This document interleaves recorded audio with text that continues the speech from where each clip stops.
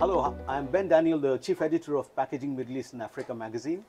I'm here at Gulfood 2024 at the Dubai World Trade Center, and it's a pleasure to be here at the Tetra Pak launch, and a pleasure to see Sonya Kayani, who's the communications director for the Greater Middle East uh, and uh, Central Asia. Hello, Sonya. Good to see you. It's our pleasure. Thank you so much for being here. Pleasure's mine. Thanks. And it's been a while since uh, we, uh, you know, worked uh, uh, on uh, interviews like this. Yes, absolutely. Yeah. So, so tell us a little bit about Gulfood. How has it been? So Gulfood, you know, as as you know, is a, a highlight of our calendar every year. And uh, this year, you know, we have our lounge here so that we can have our customers congregate here. You know, most of them are exhibiting outside, so it's a nice place for them to come and have their meetings here and uh, sort of have their negotiations with us. We've already had uh, a very nice uh, deal signed yesterday, and we're expecting one today as well. So it's been a very fruitful Gulfood and busy as always. So today is the last day that we're here, and we're hoping for a packed house again today. Wonderful. Nice to hear that. Uh, as always, uh, Tetra Pak has been a trendsetter in sustainability when it comes to packaging, Yes. right? And uh, we have been seeing that, and you've taken thought to action. You've really done some wonderful innovations, which is good. But tell us a little more about how really sustainability is moving towards, uh, you know, in the, within the food and beverage industry. We're talking about the future of sustainability from a Middle East and Africa perspective, and how is uh, Tetra Pak taking being part of this journey? So at Tetra Pak, sustainability is at the very core of our being. It's something we take very, very seriously. And then we don't like to take a very singular approach to sustainability. We like to address sustainability across the value chain. So let's talk about, let's start with a pack for in- instance. So let's start about how it's being sourced. So all of the packaging material that we used, 100% of the factories around the world is FSC certified. So Forest Stewardship Council certified, which means that it's coming from sustainable sources, sustainable farming practices. Uh, we're not just cutting down trees and leaving them there. Many more are being replaced so that the cycle of growth can continue. Um, secondly, our uh, package inherently is made out of 70% renewable material because 70% uh, of the component is paper, which is uh, renewable and recyclable. Uh, many of the other components are in many of the geographies that we operate in, including the Middle East and Africa region, are completely 100% recyclable as well. 70% recyclable is the minimum, but even in some geographies, we're able to achieve 100% recyclability. Secondly, um, when we look at our operations around the world, so it's our ambition to be net zero by 2030 in within our own operations. So whether that's how the factory runs, how you know how the cars are, uh, which our employees are driving, etc. It encompasses all of that. So that's how we're taking you know sort of a 360 degree approach it's not only the packaging it's not only our operations it's how our offices are run it's how you know it's how our employees are uh, the culture that we have fostered for our employees as well so it's you know it's really something very integral uh, to the company's uh, focus and core Cool. Okay. Um, let's talk a bit about your regional partners with whom we are working very closely, and we could see some success stories even in one of our summits. You presented Yes. one of those. Yes. And uh, tell us a bit about uh, your connection, how you really uh, do this partnership, and what are the challenges that you have, and more than the challenges, what opportunities, and how you really turn out uh, these uh, partnerships into a successful one.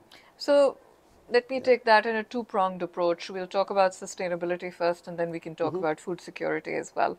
For sustainability, we in Saudi we have two uh, partners that we're working with OPI, uh, Obeikan Paper Industries, and STP Plastics, who we're working with for recycling. Um, this is a partnership that we entered into in about 2021. That's when the recycling facility is launched. It is fully functional now and actually um, you know, functioning as a recycling facility. Right. For the UAE, we took a step in 2022 at Gulfood Manufacturing. In fact, we signed an MOU with Union Paper Mills. And then um, at COP recently, we signed a further agreement with them to invest um, with an investment of about 2.5 million dirhams to set up the recycling infrastructure. And what we're foreseeing is that once that infrastructure is in place, we should be able to recycle 20,000 tons of our cartons in the UAE, which is quite a large sum. Indeed, yeah, yeah, yeah. So this is how, and this is very similar to how we operate in different geographies. We we try to create a circular economy. So we try to work with partners and recyclers to whom you know we can provide our cartons whether it's coming from our customers whether it's coming from the local collection systems and you know they can recycle those cartons. And then what happens is that those cartons are generally made into useful things that can be used. So the stools that you see outside in our lounge are made out of recycled cartons. And uh, a lot of the furniture that we use in our exhibitions and uh, in our events, etc., is all recycled. So a lot of these recyclers are now, you know, either they will send the recycled uh, the pulp to a paper mill who can use it for recycled paper. The polymer and the aluminium can be combined to create furniture, waste bins, swings, play sets for children. You know, the list is uh, the list is endless. So that's that's what we invest in, investing in partnerships and creating a circular economy Right. in the all the geographies that we're operating in.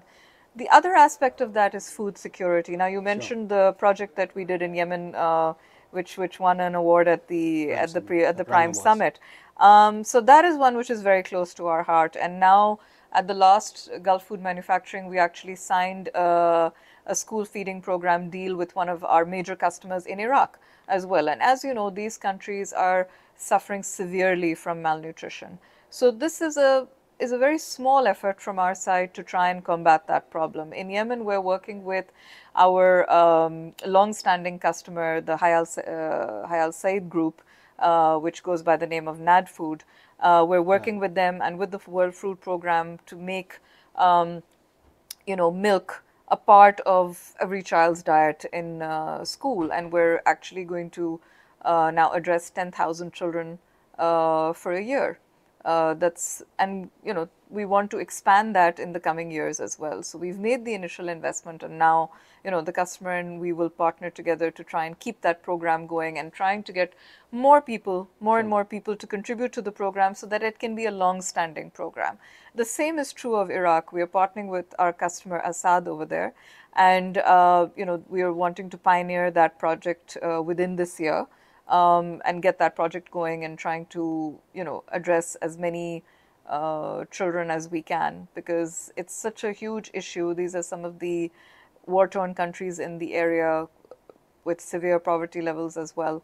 So it's these projects are really close to our heart, and it all comes back to our motto of you know we commit to making food safe and available everywhere, and that's especially true in cases where people are most vulnerable. Brilliant. Thank Mm-hmm. you.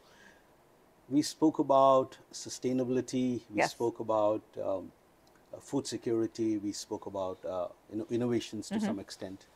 And there's another very important element. We're talking about structure and design and format Yes. of your packaging. Yes. You won some awards for those innovative uh, Yes. structures and formats. Tell us a bit about this. How do you do that? What's the perspective and how, what initiatives do you do closely, closely working with the clients according to the requirement, obviously? Yes. But if you can just. Of course. Yeah. So, um, I, I know you've been speaking to Angela, and she would have told you about consumer trends as well. There is a big shift uh, for consumers towards more sustainable products. Uh, and even more sustainable packaging. So, the package that you see in front of you is actually a very good example of this. This is by far our most sustainable packaging. Um, the paper that has been used, the caps that have been used, this is a fully renewable, carbon neutral uh, package, recyclable package. So, this is what we are promoting uh, not just in this region but around the world as well as a more sustainable packaging option. There are, of course, many, many more uh, variants of uh, this uh, packaging material and the formats, but this is the one that we are uh, promoting within this region, and this is the one that won at Gulfood Correct. last year for most innovative packaging, and then again at the Prime Summit for most sustainable packaging. So we're rather proud of this one.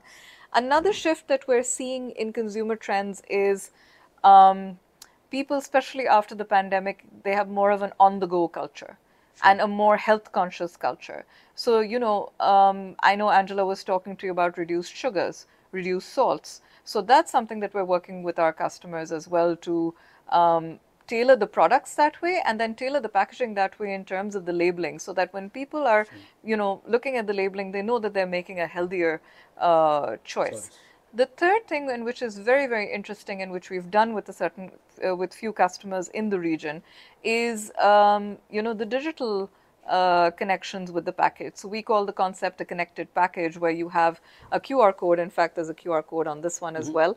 Um, and you can, and we worked on several customers with that for campaigns that they do. So, you know, you can scan the QR code, you can, it's especially interesting for children, you know, Sure. who want to, um, you know, who want to enter into these kind of fun uh, quizzes and contests, etc., and you know, win a prize or something. So we're doing that.